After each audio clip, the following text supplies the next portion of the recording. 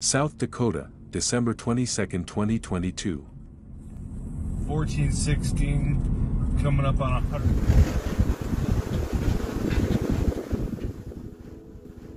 Since the state is experiencing sub-freezing temperatures, persistently strong winds, and poor visibility due to blizzard conditions, the South Dakota Department of Public Safety has issued a no travel advisory for the entire state.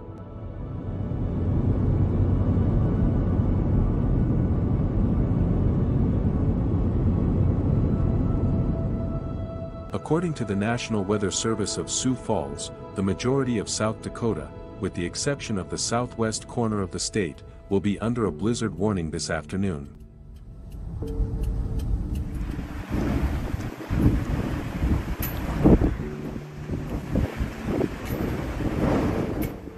Extreme wind chills are present, combined with greatly limited visibility and blizzard-like conditions.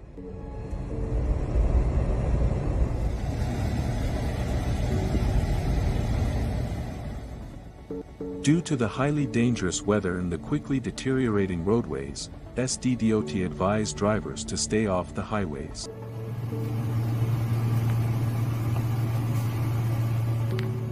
Interstate 90 is closed.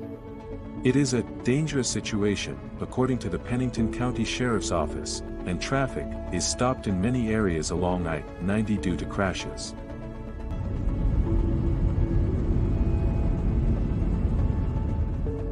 The blizzard warning is enforced through Friday at 6 p.m. due to the winter weather conditions.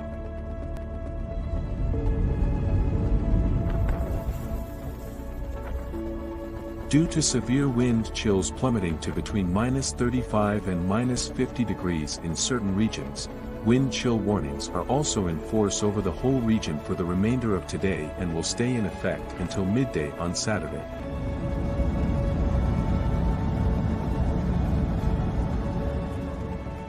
The National Weather Service stated in a tweet that the amount of snow that fell during the previous 24 hours will determine the scope and intensity of the blizzard conditions. Many regions east and along I-29 have received 1 to 4 inches of fresh snow so far. It is these places where protracted blizzard conditions might be predicted.